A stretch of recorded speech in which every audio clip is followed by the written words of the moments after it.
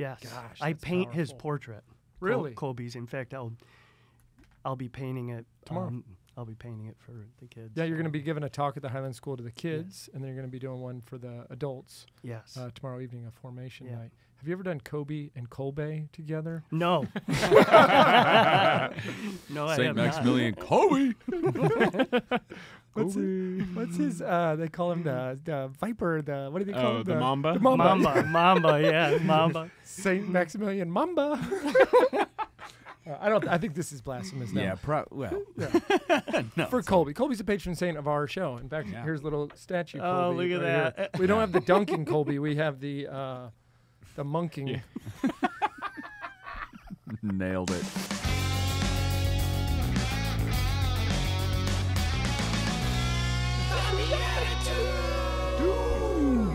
Dude, are you So- kidding me? This is the BeatiDudes. We are a big deal. We got, At least to ourselves. Yeah. we're a big deal at a tiny table. And That's it. This is the number one podcast for men at a tiny table with three hosts in the world. yup.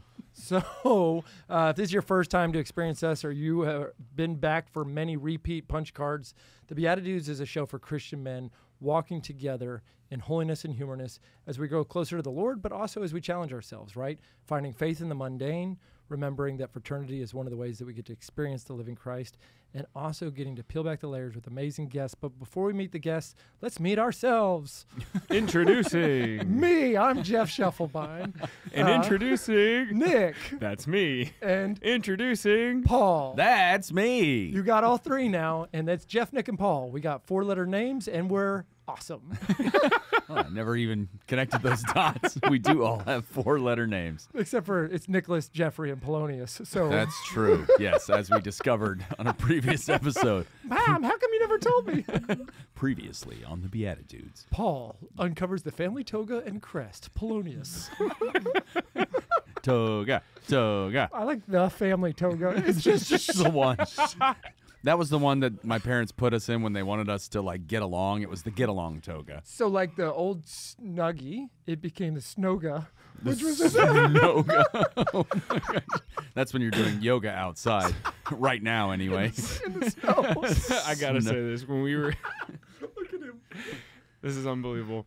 Uh, so New Year's Eve party, friends are like, "Hey, what's the thing that your family did?" This is like conversation started.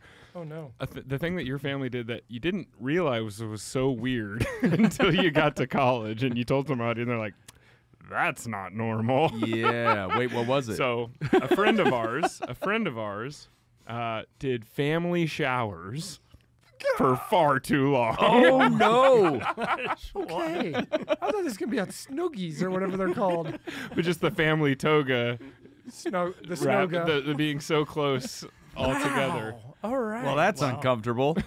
so let's transition from that. So from that, our guest. no. hey, I got to tell you, no, you go for it. I am lost right now. You know, maybe part of what you're hearing come out of this is that the three BeatiDudes are in the middle of Exodus 90. If you've ever participated in faith, fraternity, which we're into that kind of stuff, and also asceticism, which is oh, I'm sorry, prayer, asceticism, and fraternity. Asceticism: deny yourself TV, deny yourself social media, deny yourself food, deny yourself Warm showers, Yeah. Yeah. Alcohol, video games. Oh yeah, alcohol. scrolling on your phone, Yeah. Like they're basically watching YouTube. they're really trying to Except get you to go video. into the desert. I've taught my dog to scroll on my phone. Lick. That's I have not scrolled at all. uh-huh. you, you know, you and the Pharisees might get along on some things. well, if I told you I took cold showers, then you should condemn me because Oh, 'cause that's a lie. I'm sorry, Exodus team. It is my one and only. That's okay. actually well. So I'll I'll admit though that there are parts of it, like some of the smaller things. I, I say smaller. I mean in the sense that they can consume small moments They're of your day. beneath you. No, no, no, no. But like scrolling on your phone can happen for like five minutes or whatever, and they can that can show up here and there throughout the day. I'm not always good about avoiding that, but Yeah. but the dedicated moment of oh well, this is where I take my cold shower for the day. Mm-hmm. That's the one that I know that I can do, even though I hate doing it. But it's like, all right, I can carve that time out and make sure that I do it. Do the thing. Yeah. So there are pieces of this that I'm still very much trying to uh, bring into my life. But Well, I think that's part of it too, right? Yeah. Like, yeah, they said gradually to introduce. and there's going to be pieces that you're going to fail, and like, yeah. don't let what is it? Don't they said we were meeting on Saturdays? Like, don't let the devil win twice. Like, knock you down mm. and keep you down. Like, Yeah. you're gonna get knocked down, but like, Sure. get back up. That's so it was so good. super cold in Texas yesterday, and I took two warm showers. well, the second one's not even like a shower for the day. That's like, can I take a warm bubble bath? Like, that's separate from my shower for the day. It's just like an activity. Let's get into technicalities. yeah, I think that's what it's about. That's what the Lord was always about. All right. Well, listen, we have literally an incredible guest who um, I can't wait for y'all to meet this man. I've seen him on stage a few times. We became friends. There's so many amazing things we're going to uncover here on the show. And if I'm not mistaken, Tom Varano, who's on the show, is a fan of the BeatiDudes, right? Absolutely. That's your ticket in. Absolutely is the right word. That's all we ask. Tom, before we get to know about you, let's know about us. What is your favorite episode that you can recall? Maybe the a guest that you can recall really enjoying for the new listener who wants to go back. what about what about us? We're gonna get to Tom. I know, but hey, let's flip the script. What do you think about us? hey, he likes to flip it around. Go ahead, Tom. That's fair. That's fair. I, you know, I was actually talking to Paul before uh, we came on here, and who was the gentleman that that I had mentioned that I appreciated? Steve that? Lemire.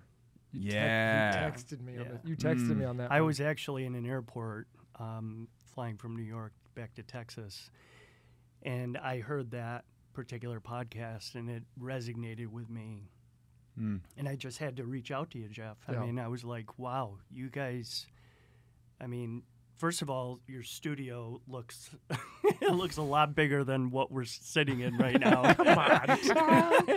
You're used but- to huge Camera, stages. camera magic. It's a glorified But- broom cupboard. but anyway, the the actual show was so powerful, Yep. and so that was one of my favorites actually because it That's the it's second actually got me in this seat. Yeah, That's the second person today. That's awesome. Is that right? Yeah. yeah. Yeah. Oh, wow. Well, let's uh let's let's now make this your show. This is uh, you are our guest, and we're happy to have you here, Tom Varano. The name of your business today, just so people are like, "Who is this guy? what am I talking about here?" Sure. Emotion, no art, yeah, emotion into art. emotion into art. Yeah. Isn't that cool? Because I keep thinking about Yeah. art leading to emotion. It's emotion into art. Yes. I knew that. Yeah. Um, we want to know about you. Where did you come from? What's your story? How all of a sudden are you on stages all over, doing your thing? Yeah. Well, And the mic's all yours. We're Yeah. gonna shut up now. uh, we we are capable. Ish. um, you know, born and raised in upstate New York, uh, Rome, New York, actually, Syracuse area, and cradle Catholic. Um, pretty crazy household, born into um, a lot of. I mean, I don't. We could probably get right into it Sure, here. I go guess. for it. So, you know, just grew up in a pretty intense environment. A lot of physical abuse and you know um, verbal abuse, sexual abuse. Um, but on the flip side, just had an amazing relationship with my father. I mean, he was he was my hero. But on the other side, he's you know doing all these other things in the house. So it was a lot of confusion. But um, we'll talk about that. I want to want to get into Sure. some of that. Um, but fast forward, fell in love with photography. Fell in love with you know being a portrait photographer, and went to college for that. Um, couple years in, realized I knew what I wanted to do with my life. I knew I wanted to be a portrait photographer. I wanted to change people's lives with them looking at a photograph of themselves like, wow, I am beautiful. Look at look at this mm. portrait of me. And mm. see themselves as God sees them, you know. Mm. And um, so went to my father. I said, Dad, I know what I want to do with the rest of my life. He said, What's that? I said, I want to be a portrait photographer. He said, What do we need to do? I said, Well, I need a studio. He said, Look, it's only you and I living here. He said, Let's uh, let's start it. Two rooms down the down the hall. You have two of those bedrooms. One is going to be your office. One's a shoot room. And our home telephone number is going to be your business number. You're in business. And there I was, 19 years old, completely and utterly broke, but in business, following my dream, my passion. And um, it was in college. I will back up a little bit. It was in college that one of the professors said, go to any church and photograph the interior of a church and then report back with what you and I wasn't going to church at the time. I was hurt in the church um, as a altar boy, um, you know, basically sexual abuse through a priest. Yeah. And um, so I didn't want anything to do with the church. So I literally walked away from the church. But it, going back to that moment where this professor said, go to a church, I literally had to use a phone book back then. There was no internet. So I used a phone book and found a church, called the church. Priest said, Come on down. Absolutely. Wednesday night, put on some music, soft lighting. It, it was a gorgeous church. It looked like a, a cathedral. And I went in there, I was by myself, and he left me alone. And I went to the Stations of the Cross, and I literally photographed every station of the cross. Mm. And I got to the crucifix at the very end, this massive crucifix and something broke in me. It was the Holy Spirit that literally broke me as a man. And I literally was on my knees and I was weeping.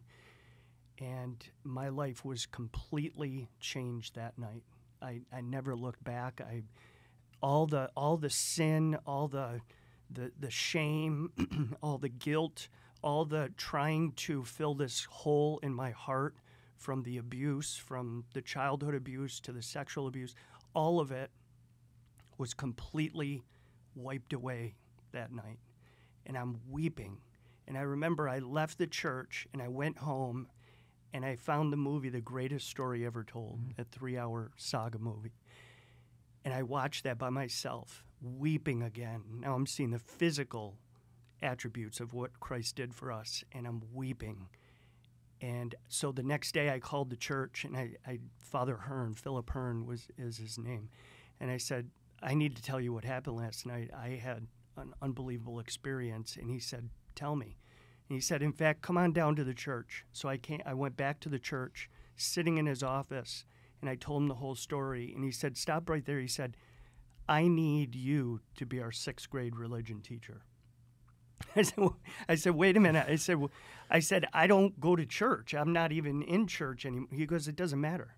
He goes, I want you to be our sixth grade religion teacher. And that moment, for the first time in a long time, somebody actually saw me. Yeah. And poured into my life. And I had to dive into the scriptures because I was now teaching these kids. That'll do it. And I was telling you about the cathedral-looking church was absolutely gorgeous.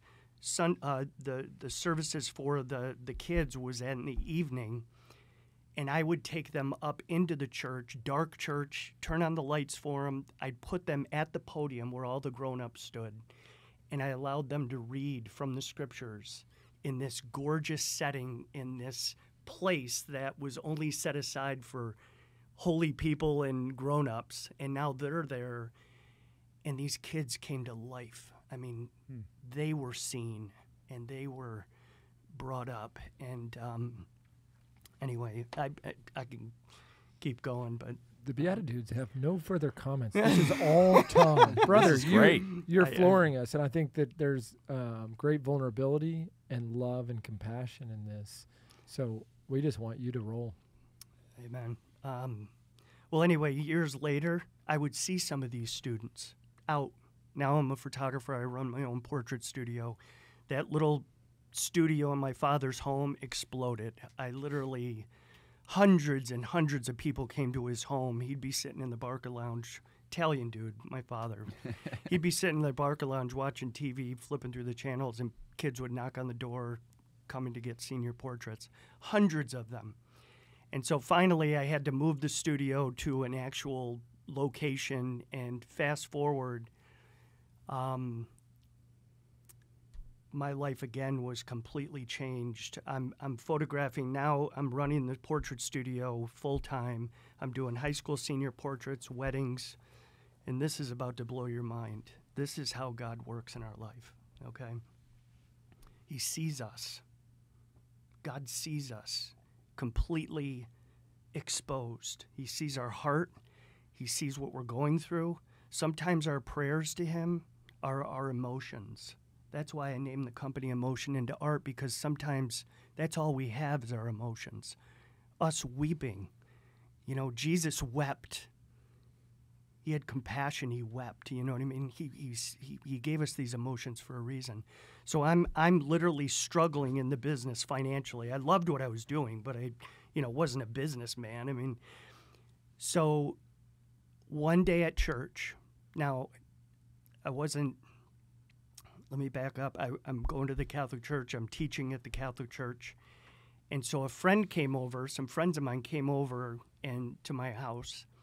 And they're like, Tom, I see you going to church and you know, how's it all going? And I said, It's it's going great. I said, I love it. You know, I'm teaching and they said, you know, what about your Bible? Are you you know, are you reading through the Bible? I said, Yeah. I'm, he said, you know, this one guy said, You should come over to our church, check out our church and said, "I yeah, I'd love to. Anything with God or church, uh, you know." So, so I went to their church, non-denominational church, and there's music, and it's exciting, and there's, you know, people jumping up and down. There's clapping, and you know, it was it was like a party, you know. So I was like, "Oh my gosh, this is talk about emotion. That's all it was was emotion, you know." So I went back, and I was like, "I need to be here." I need, I need something resonated with me. I, I needed to be here. and so I went back to talk with Father Hearn, and I, I called a meeting with him in his office. I'll never forget it. And I said, Father Hearn, I'm going to leave the church. I'm going to go to this other church. They have, you know, they, they, they teach me how to open the Bible. They, they taught me how to tithe. They, they, they're teaching me how to tithe, you know, and, and um, you know, we never talked about that. And he's like, Tommy, you give what you can.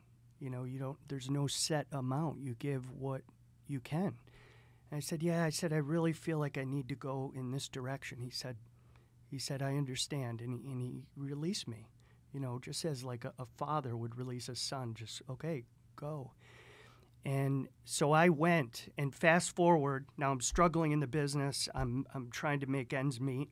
And one day I'm in church at this new church, and in the beginning of service, they would have a, a basket that came around. You know, you put your money in the basket, tithes and offerings, they call it.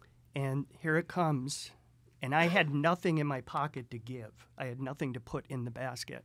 So I remember I'm looking down at my, my hand, and I had a beautiful gold nugget ring that my aunt had given me, a prized possession. She had been deceased; she's deceased now, and I just had this ring. It was a, a gift.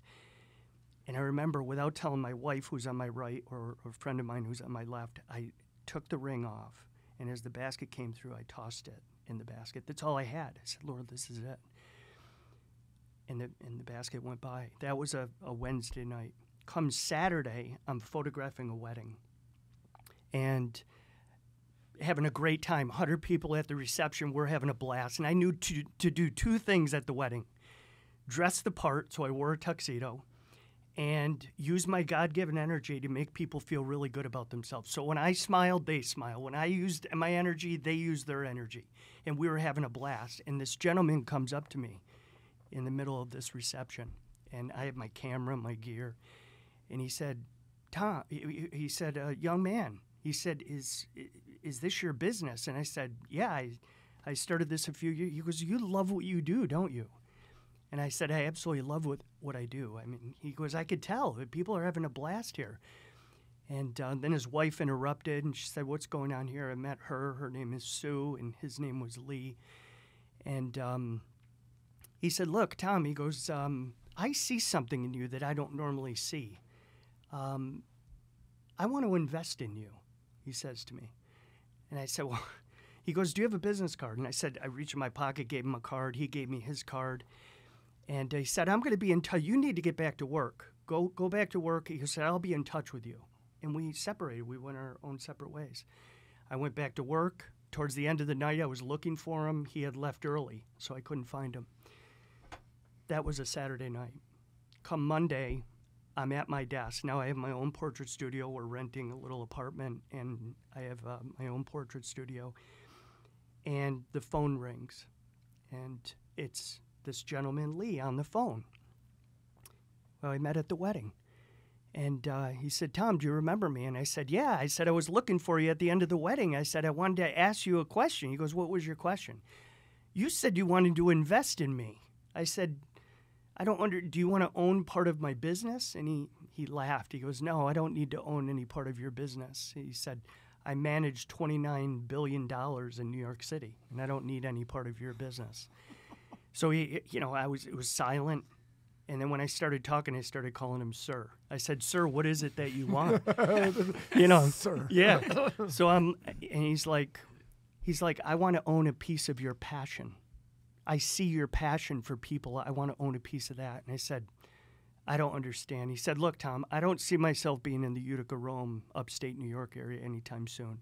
He said, "Why don't you come down to Manhattan, and I'll explain everything to you then." And there was silence on the phone because that was me thinking this stranger wants to get me to New York City and slice my neck open and throw me in some alley. That's what I was thinking. Yeah, get a You piece know? of that energy. Yeah, I was like, yeah, exactly.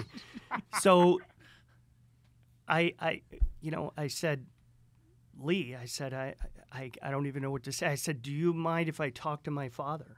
And, and then get back to you. Because absolutely. He was all energetic. He said, absolutely. Go talk to your father and then call me back.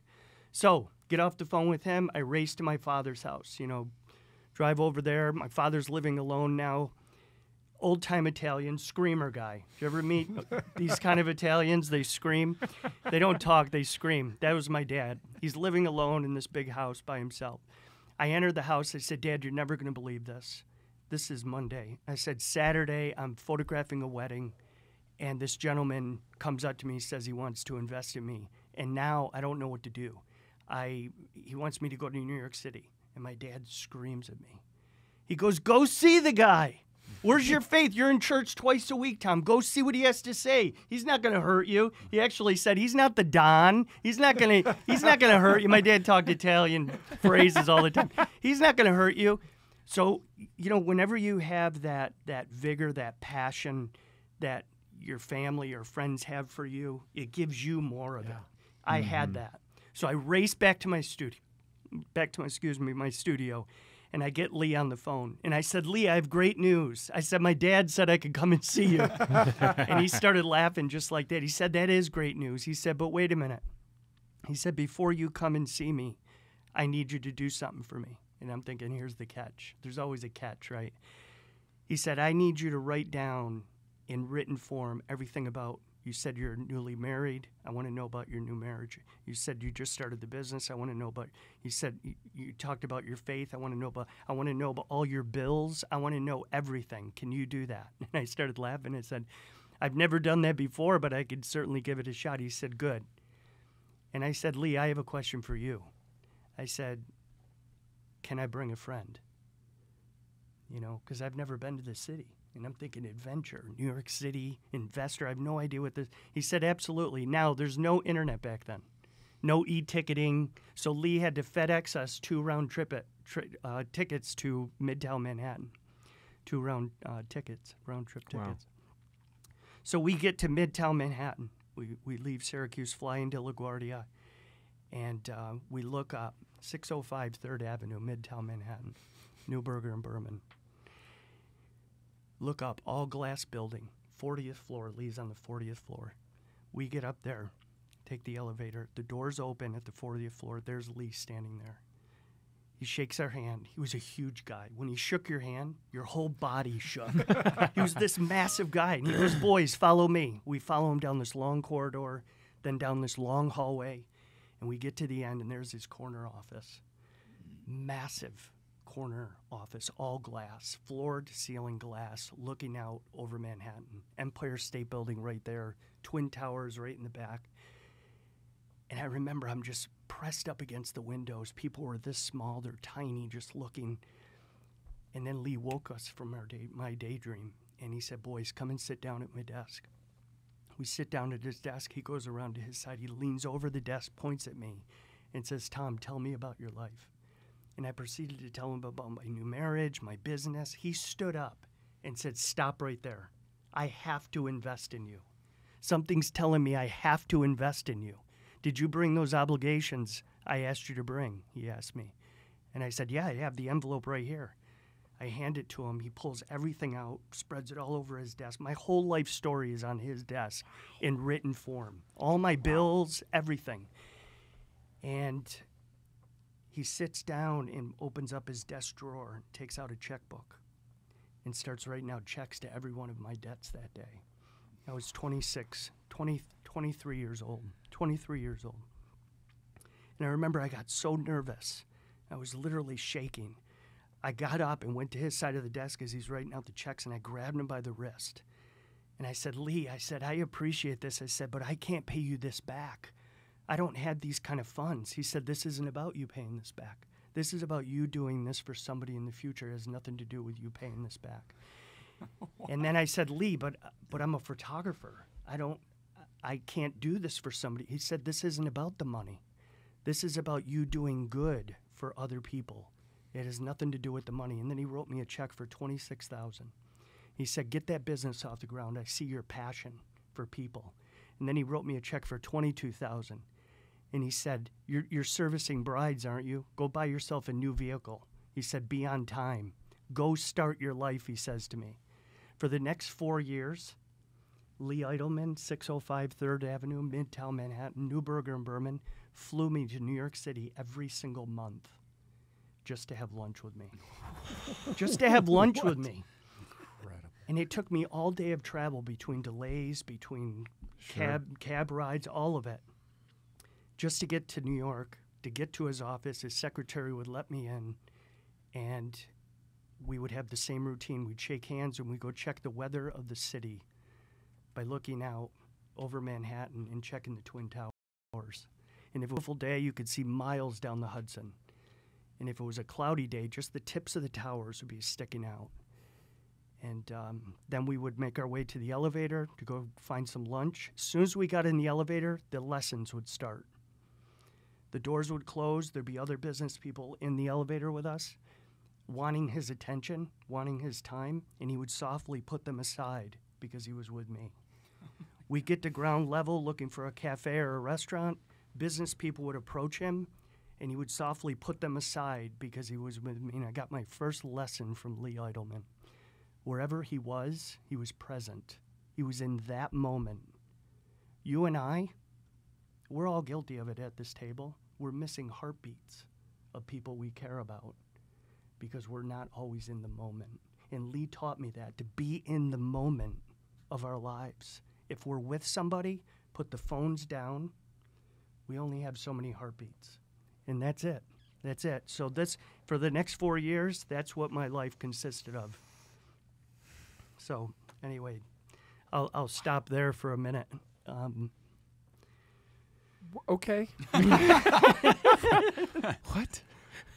Where where where do we go? I have a question. this was all on the literal heels of you putting your treasured ring into the collection basket. yes, yes. And that was like an act of tithing and service and love for Christ. Like this was an outpouring of what you had. You gave what you could moment. And what you got then from Lee is something that you could have never predicted that is I'm not trying to compare anything he did to a ring or vice versa. But the message in, in the ring is that you give what you can. It's like what Lee was telling you. Yes. What happened with Lee? What is the story? So, is he still with us? I'll well, let me say this. Sure. 3 years there's so many messages within this. But 3 years after Lee retired, he passed away from cancer. So, the big American dream to retire me personally, Tom Varano, I think it's a big lie. I think we need to be in the moments of our life. I mean, obviously plan and, and think of our futures and be responsible, but don't make that your end all Yeah. because it's not. We're, we don't, we're not promised tomorrow. We, we have to live today and be here today. And as far as the ring goes, seven years to the date that I threw that ring in that basket, the pastor of that church asked me to give my they call testimony, and I went up and spoke to the the congregation. I told that story that I just told you. You know, all my bills were paid that day. My wife's student loan, everything was paid that day. And I told that whole story. And at the end, the pastor said, Stop right there. And he went in his office and came out and he had my ring. and he handed it back to me. And he said, During "We a testimony. during the, he said we found this in the church basket we didn't know whose it was and he gave it back to me and i still own that ring oh and yeah that's god god was speaking to me and he, he literally said to me you can never and this is for anybody that's listening you can never outgive me hmm. You can never outgive me because i'll do above and beyond what you can ever imagine and that's it's so powerful for all of us. And by the way, um, I have a couple gifts here for you guys.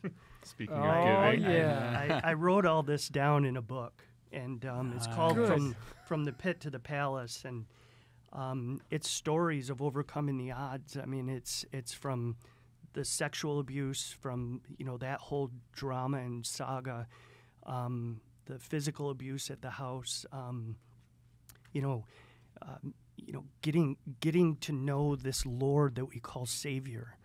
That's in there, and it's so powerful. And uh, I talk about faith and trust, and and um, just how we can grow with God. You know, I mean, this is such an amazing journey that we all have and have the opportunity to do, um, to be His. You know, it's called From the Pit to the Palace, and uh, they can find it on my website, emotionintoart.com, or on uh, on Amazon. So Wow.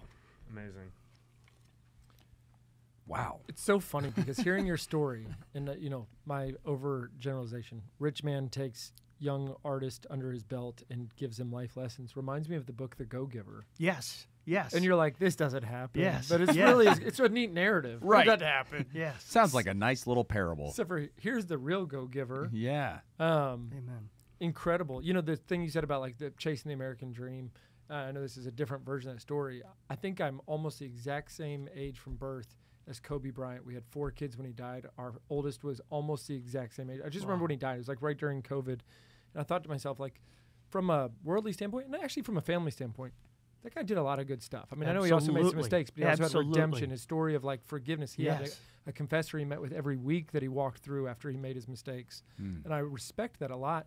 And this guy dies, and you ask yourself, you know, and he was giving, right? He was doing Yeah. kid camps, he was doing Yeah. all sorts of stuff. Like, what comes with you after that? Because nobody in his family could care less about money when Right. Kobe's gone, right? Right. And same with Lee. It's you want that time, you want that heartbeat, you want that moment. Yes. Um, Yes. Gosh, I that's paint his powerful. Portrait. Col- Really? Kobe's. In fact, I'll I'll be painting it Tomorrow. um, I'll be painting it for the kids. yeah, you're going to be giving a talk at the Highland School to the kids, and then you're going to be doing one for the adults Yes. uh, tomorrow evening, a formation Yeah. night. Have you ever done Kobe and Kolbe together? no. no, I St. have Maximilian Kobe. What's, his, what's his? Uh, they call him the, the Viper. The what do they call Oh, him? the Mamba? The. Mamba. Mamba. Mamba. Yeah. Mamba. Saint Maximilian Mamba. Uh, I don't. I think this is blasphemous. Now. Yeah, pro- well. no, For it's Kolbe, Kolbe's the patron saint of our show. In fact, Yeah. here's a little statue. Oh, Kolbe look at right here. that. We don't have the dunking Kolbe. We have the uh, the monking. Yeah. Nailed it. Oh, that was Yup. good. Um, man, where to go? I have so many questions, but I feel like we will be doing ourselves a disservice if we don't play a quick little game. And we're gonna come back. We're gonna keep going on your stuff. We're not gonna do all of our goofy stuff, but we're gonna play a quick game for you because you feel like a guy who's ready to judge some crazy. Just Okay. a game called Blessed Are the Joke Makers, Okay. for they shall inherit the points. This one's going to be 260 points. This is a big one. One point Whoa. for every page in your book. Wow. And Tom, you know you're the judge. You've heard this show before. Pick. Yes. I really need a comeback here. Well, so yes, so we've got a character card and a Catholic card game card, and we have to answer the Catholic card game prompt, and that can be a fill in the blank or a question or something as the character. So we don't know what either of these are. How uh, are you feeling about it? I feel, I feel okay. You look really nervous. I'm feeling strong. You're just trying to get in my head. You're feeling strong. oh, yeah. I feel like when you make big point totals, you know that there's some juju going on. I don't know anything about Juju, but I know You, I'm you- ready. you. All right, and so again, we have to answer the prompt as the character, and you just get to decide which one tickled your funny bone. That's, Okay, that's all all right. that it boils down to. So, here we go. As a spoiled, rotten kid, I got seven deadly sins, but blank ain't one.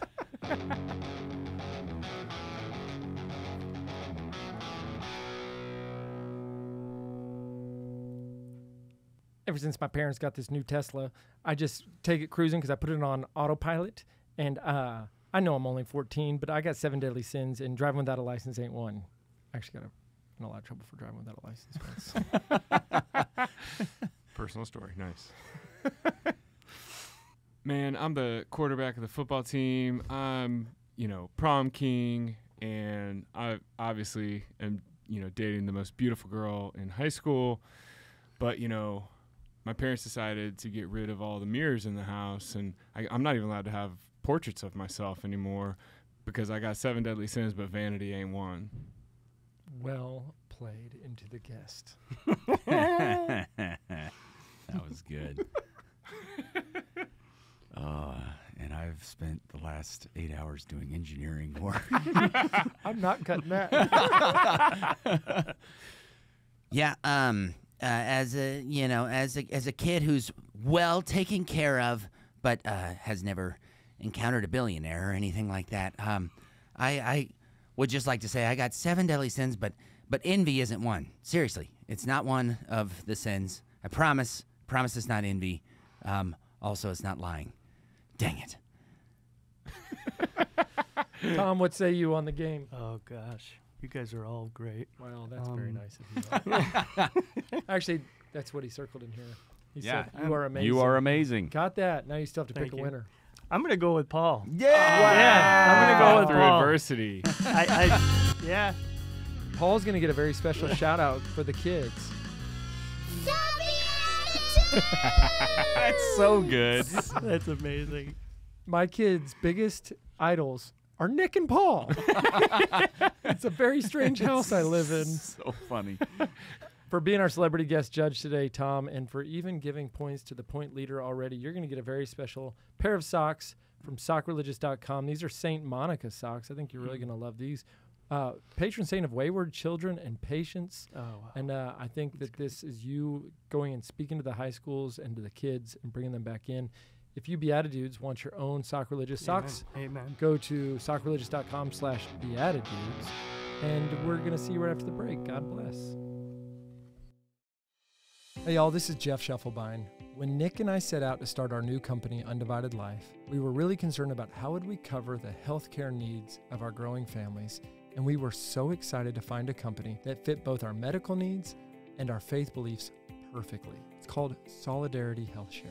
It is an ethical alternative to traditional health insurance. We're never part of sharing in the medical costs of anything that goes against the teachings of the Catholic Church, making it a great alternative for Catholics and Christians alike. Solidarity is very affordable, which is perfect for a large family or for a new and growing business like the one we've started. So visit joinsolidarity.com today so that you can get started with us. The team at Aquinas Wealth Advisors believes that good values and good returns are not mutually exclusive. Using a tech smart and morally sound approach, they provide investment alternatives that align with Catholic teachings without sacrificing returns. These days, faith driven investors are finding it hard to know where their money is going. They have no visibility into what their dollars are supporting, but there's a better way. Thanks to the Faith and Finance Score from Aquinas Wealth Advisors, you can look into your current holdings to see what you're supporting and make a switch to an advisor that aligns with your values and gives power to your voice. Check out AquinasWealth.com today. Hi, it's Paul Kolker from the BeatiDudes here, and I just wanted to share with you guys that I also, outside of the show, perform improv comedy on a regular basis with a group called Divine Comedy. So, what we do is we come up with everything on the spot. So, whether you're looking for faith filled, fun, family friendly comedy for your youth night, or whether you're looking for clean comedy for your corporate event, Divine Comedy can perform for your group and even get you in on the action. So, if you'd like to hire us to come out and perform for your next event, check out divinecomedyimprov.com. Divine Comedy, an inferno of fun. Ooh, welcome back, everybody. we are here with Tom Varano talking about Mordor. You gotta hear break. what Paul just said. We're talking about Jeff. Lord of the Rings. During a quick break, we were discussing the ring that Tom gave and then received. Jeff makes a comment about the Lord of the Rings. And I, Mordor. I mentioned Mordor, and Paul, Paul says, says- That's when you have too few windows. Because you have. More door. Oh my goodness. Grand Slam. from a under the breath comment, just funny. Hey, he, Pulling it out. He got 260 points. He's like just Man. rubbing it in. Yeah. feel good. Eight hours of engineering work later. I just leaned into the nerd part. so part. good, so good. So good.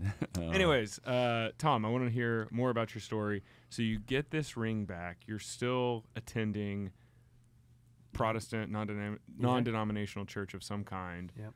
and then that's not your current status. You are Catholic Yes. yet again. So Yes. what happened there? yeah. so, you know, being at the non-denominational church, it was uh, we were there. My wife and I were there for 13 years, and it was it was an amazing time in the fact that we were taught so much as far as how to how to study, how to, you know, crack open your Bible and prayer time and um, you know, listening to, you know, worship music and all of that. But there was something missing, and we didn't know what it was. We really, we just knew that something was missing. And then we fast forward our lives. Um, we ended up, uh, and of course, it's all in the book, but we've we ended up um, moving. We moved to Florida, and had a horrific business experience there. By this time, Lee has passed, um, so I didn't have him to fall back on, and we had a really horrible business experience that literally shook me to my core. I mean, I'm on my knees, like, now what, Lord? And um, we had theft in our company, and so we had to move back to New York and move back into an apartment above my portrait studio. I happen to own that building. And we're my my little family and I have two daughters and and of course my wife and we're living above the portrait studio. And I'm I'm literally starting over. Like Mm. 30 plus years as a portrait photographer everything. I lost everything and I'm starting over. And in that time I'm literally weeping. I had suicidal thoughts you know I, I, I was just confused. I was like lord why? I, I didn't understand. I and in that time it's when my wife in her prayer time ended up coming across word on fire with bishop barron. And she said honey check this out. And we watched catholicism series for the first time and it changed our whole life changed our whole walk, changed everything. We found formed w- with Chris Stefanick and the crew. Changed everything for us. And I'm literally in my prayer time, I'm like, Lord, now what? And I was at a Best Buy, you know, Best Buy, we're electronics. Mm-hmm. I'm at a mm-hmm. Best Buy, I'm looking at camera stuff. And a gentleman walked up to me. He was a, a past client. I used to photograph his family portraits and all that. And he said, Tom, have you ever painted before? And I said, No, I, I don't like being dirty. I wear a tuxedo. I like things crisp. You know, I don't even help my wife paint the walls in our home. He said, he said, well, well, wait a minute. Watch this video. And it was a gentleman, YouTube video of a gentleman by the name of Denny Dent. He's deceased now, but he was painting really fast. He had paint in his hair, rock and roll music. He's throwing paint. As soon as I saw this, the same passion that hit me when went with my camera that my father gave me at 14 years old hit me with brushes. I was like, that's what I'm going to do. I'm going to I'm going to change my life. And I'm going to be a portrait I'm going to be a painter. That's- I'm going to do this. So that night I went home and like I said, we lived above our portrait studio and I went home and I had a canvas set up and I, after dinner, I called my, my family downstairs into the studio area and I said, Watch this. And they came down, got situated. I turned on the music, started painting really fast, and I flipped it over, and there was silence in the room because it did not come out. It, it, just didn't come out. My, my teenage daughters are looking at me like I lost my mind. And uh, my wife comes over to the canvas and she said, Honey, maybe if you tried this or did, it wasn't helping. It didn't come out. And I'm standing there with my head down. And I'm like, Lord, but you you said that I can do this. You know, in my heart, I, I thought I can do this. And then instantly, my heart was, my mind was brought to the fact that it took me decades to become a professional photographer. Decades. Study, practice, alone time, books, all of it. And here I am going to step into a studio never painted before, ever. And I'm going to just create this canvas it wasn't happening. So I went down there for four more months by myself in that studio. And I was destroying my beautiful portrait studio. Gorgeous. I mean, tens of thousands of people came through the studio. It was like the studio to go to. And I was destroying the studio. I had, I had paint on the walls, on my equipment, on the hardwood floors. So I called a friend who works with brick and mortars. His name is Angelo. He's, an, he's a mason. I said, Angelo, come on over to the studio, man. I need your help. 100 year old building we go down in the basement and dirt floor and we dug out four ton of rock and dirt out of the basement and then we poured concrete and then poured stairs and i had a painting pit in my basement and i went down there for three more months by myself without my family nobody and i just painted over and over and over again and then i called my girls down again and my teenage daughters reluctantly came down dad it's annoying it doesn't come out. Just one more time. Just just let me show you this one more time. They came down, situated themselves. I turned on the music, painted really fast, flipped it over, and I got it. And it came out. My wife came over to the canvas and started crying. She said, "Honey, you just taught our daughters that if you put your heart into anything that you want, you can do and achieve whatever it is that you want to do." And that's what I'm out there telling these students in K through 12 schools nationally. I'm, I'm, I'm standing before them and saying, there's a purpose for your life. There's something written. God has molded you. He's created you. Ephesians 2:10 says you are a masterpiece and he has something special for your life and I'm trying to get that through to them. Religious or not, I'm trying to get that through to their hearts to say that you are seen and you are special. And to go back to your question, Nick, it was then, at that moment, that my wife introduced me to Bishop Barron, that we started studying under Bishop Barron. We started studying things that we've never heard before in such a way. And it exposed this truth to us that we've never encountered in any other setting in a church before hmm. was uh, all I could say is just it just resonated with my wife became an adult convert. I actually and my my daughters became Catholic um, that year, and I was actually able to walk through the um, the classes with them. I went to all the classes with them, and and we we have never looked back. I mean, it, it's like my wife and I are our relationship with Christ is the pinnacle. It's the pinnacle for us. And that's what I love about this show, guys, is because people know they need to know the truth. Yeah. They need to they need to have that relationship with God to overcome. And I have a gift for you guys. It's going to be the smallest gift that you've ever gotten on this show. Are you ready? Is it a ring? Nope. Okay. It's not a ring. It's the smallest gift that you've ever gotten. It's for you. You take What? that. Take that. It's a tiny bottle. And inside the bottle, Jesus said, if you have faith as big as a mustard seed, that you can move mountains and problems in your life. There it That's a mustard seed right there. And he said that to us. I mean, think about that. We can move mountains and problems in our life. That's so cool. Isn't that incredible? That is great. Um, so anyway, I'll I'll pause there. Well, well, I'm coming right back to you. First of all, very cool gift. Probably going to be the greatest Easter egg behind us because people would be like, "Wait, is there something on the bookshelf?" um, but it's the biggest gift because it's faith. And so Amen. here, I would have never imagined in the story that you share that you have that you didn't grow up painting. Like I thought there was like this other like love in this parallel path. You came into this in inspiration and in adulthood.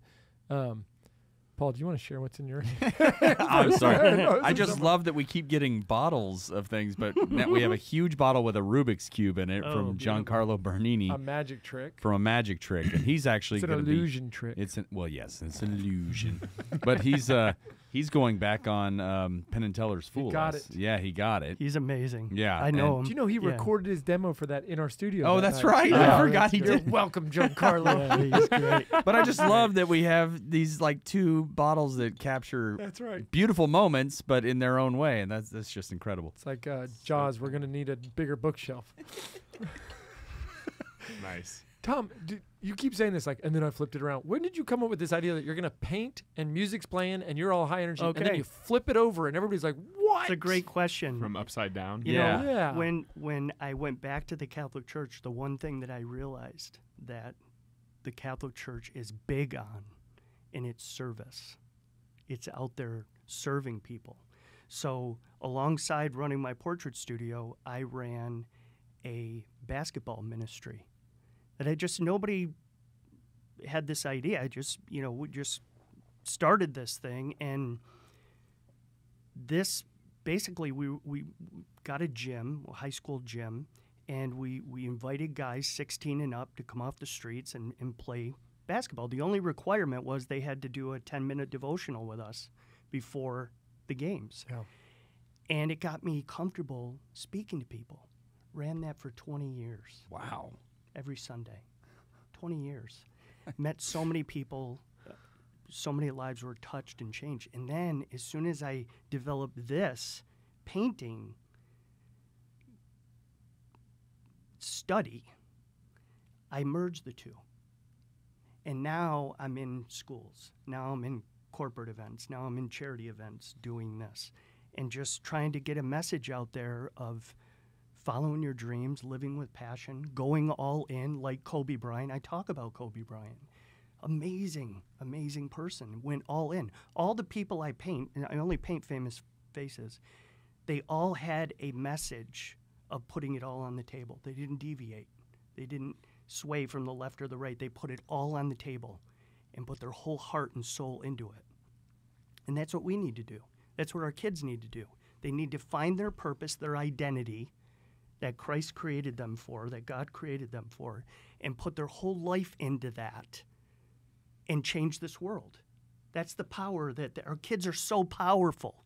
Yeah. Hmm. Our kids are so powerful that they can move mountains with their faith because there's nothing hindering them. There's they don't have that blockage that we as adults have. That's why Jesus said to enter the to the kingdom of heaven we have to have faith like a child to not have those blockages, you know. So hmm.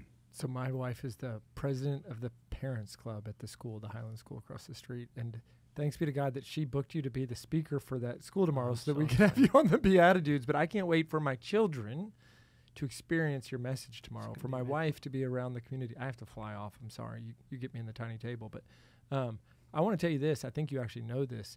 We uh, invest in family time. About you know, it's like the priority of faith, spouse, kids, but it all happens around the table, right? So we had a table made. The table has these like inscriptions in it about what I love about you and a Bible verse.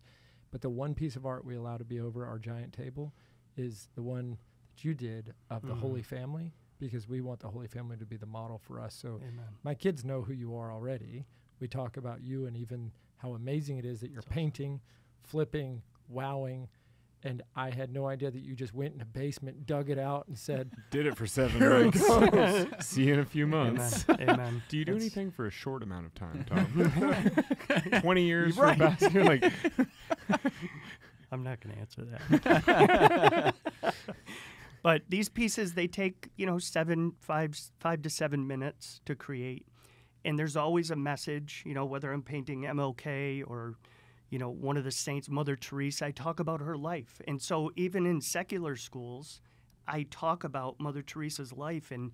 Not that she was doing what she did to turn everyone Catholic. She was doing what she did to love people. Yeah. You know what I mean? She was a she was just this this this powerhouse at five foot tall, going out loving people.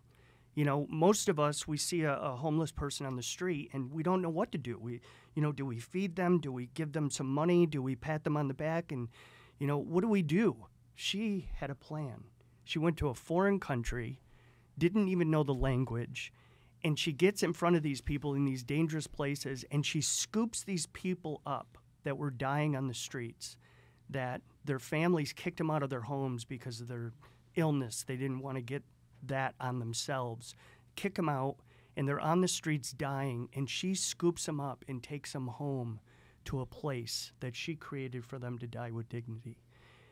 That's what i'm trying to get through eh, this this compassion this empathy for our kids. We're losing that in this country, and we're losing empathy and, and compassion. So, anyway, I'm on a mission. I think I'm it was our mission. guest Jonathan Doyle, the Aust- the first Australian, that told the story of like all these great things we can do, but think about the witness of Mother Teresa and the folks around her that would look someone in the eyes and smile at them as they were dying, so that their last view of something Mm, on mm. earth was a face of loving kindness. Amen. Amen. And isn't that to be seen as as important, if not more important, than all the things we think we're doing with our donations and our big money? You know, like those things are important too. So I don't want to knock it, but I'm just Yes. saying everybody has a place to play. You know, right around the corner from the studio, there's a group called Finding Calcutta Ministries, and the gentleman who runs it gets people together, 50 people at a time, every uh, all over town, different pockets, every single Saturday for works of corporal mercy, especially with the homeless, and then they do a trip to Cal- Calcutta once a year. It is really cool to watch the heart Hmm. of what he is helping people to come to because most people are like, I want to help, but I don't know what to do. He's like, Well, cool, just show up here, this parking lot. I got all this stuff lined up for us. Yeah, Let's yeah. go.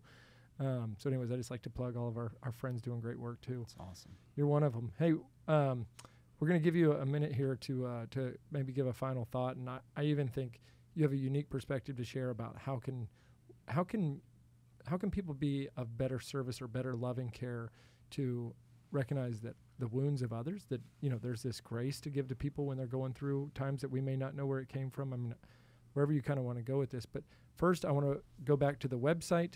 Anybody who wants to check this out, go to emotion intoart.com. Nailed it. I, I can actually read, dudes. That was good. Um, and I also just want to encourage people. We're going to be talking about your actual presentations on the bonus show. And so when we get to that, um, that's actually where we're going to do our reverse Simpsons as well, which is a totally different way to d- approach this week. But see how that works? It works. It is a It still Simpsons. works. Yep. what um, for closing thoughts for our audience today as we kind of get out of here? Mike's all yours. What would you w- leave us with as you uh, inspire others, love others, or even challenge us? I would say, you know, I wrote down a couple notes, but um, the one thing that resonates with me is in the scriptures, there's three people that we all know Paul, Barnabas, and Timothy, right? Paul, somebody we look up to, we gain wisdom from. That's our Paul, right? Barnabas, somebody we walk with that sees every part of our life, that intimacy into me see, they see that. Mm. And then a Timothy is somebody we reach down and pull up into a greater story. And I think, especially as men, especially as men, if we have those three men in our lives at all times, I believe that we have the possibilities to change this world forever. Because we're, we're sowing into the next generation. Okay? And there are a tremendous amount of I've been doing this now for 12 years. And there's so many hurting people out there. They they approach the stage weeping. They're broken. They're not being seen. And you and I at this table know what they're missing. We know what they're missing. They're not going to find it in the stuff. You know, Lee, when I met Lee, he was making 250,000 a month. That's in 93. That's 3 million a year. He lived in the same house he raised his, his sons in. He drove a Toyota. He didn't have luxury anything. I went to his home multiple times from the city. I'd, I'd go home with him on the trains, and we'd have dinner, him and his wife and, and myself. They did not live in luxury at all. And I asked him, I said, Lee, why don't you have the stuff? Why don't you have the Lamborghini? Why don't you have. And he said, Tom, if I had all that, I wouldn't be able to help people like you. His perspective was out of this world. It was out of this world. And he knew that he wasn't going to be here forever. And none of us, we've heard this, none of us are taking any of this with us. You know, we're, we're striving and going after all this stuff, and none of it's coming with us, but we still keep doing it. And we still, treat, you know, try to gain all this stuff, build bigger barns and all that. And we're never going to see a hearse pulling a U-Haul. You know what I mean? It's, Yeah. it's just not going to happen. So love people and try to get over. I'm reading a book right now. It's called Forgiving What You Can't Forget.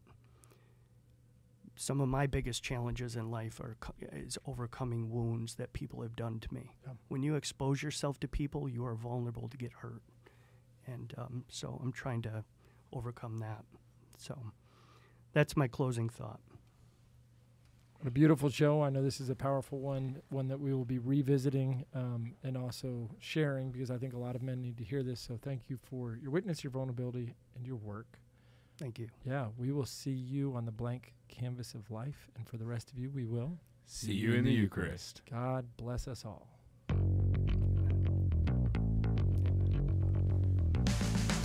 Thanks for tuning in. If you'd like to join us at our undersized table, subscribe to the video version of the show on YouTube by typing at, that's the symbol at, so shift and two on your keyboard, at the underscore BeatiDudes on YouTube.